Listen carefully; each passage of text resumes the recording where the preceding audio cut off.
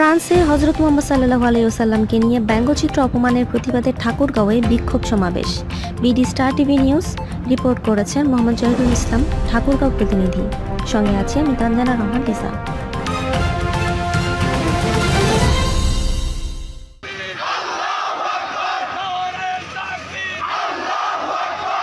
আমাদের প্রিয় নবী ও আল্লাহর রাসুল হজরত মোহাম্মদ সাল্লাহ আলহিউসাল্লামকে নিয়ে ফ্রান্সে ব্যঙ্গচিত্র অপমান করায় ঠাকুরগাঁওয়ে বিক্ষোভ মিছিল ও সমাবেশ করেন ইমাম ও মুসল্লিগণরা।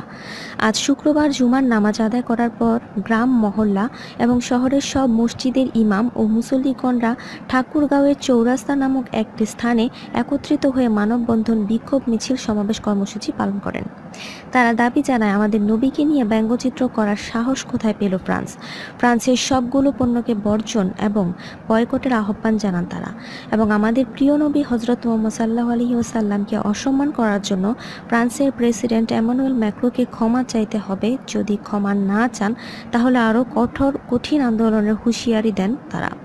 এ সময় সেখানে উপস্থিত ছিলেন পুলিশ প্রশাসন, ডিবি পুলিশ, আনসার, অন্যান্য আইন শৃঙ্খলা বাহিনীরা।